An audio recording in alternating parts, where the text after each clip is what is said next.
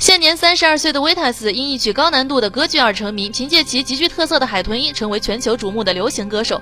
然而，近日在经历一场备受争议的交通事故之后，维塔斯遭遇了其新的人生转折。更糟糕的是，俄罗斯调查委员会五月二十四日的报告表示，依据有关法律条款，以对当局代表使用暴力的罪名对维塔斯提起刑事诉讼。如果罪名成立，他可能面临最高十年监禁。而在此之前，俄罗斯警方已经以试图谋杀他人的罪名对维塔斯提起刑事诉讼。本月十日傍晚，维塔斯。驾车车行至莫斯科东北部的全俄展览中心附近时，撞上一辆自行车，造成骑车的二十八岁女性受伤。这名女子说，维塔斯停车后用手枪威胁她。经警方调查，维塔斯当时持有的是一把仿真手枪。目击者称，维塔斯当时可能处于醉酒状态，但他拒绝接受酒精测试。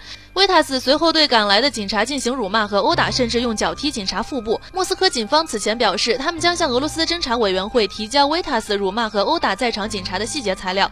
除此以外，莫斯科内务管理总局。称，警方同时怀疑维塔斯使用假驾照。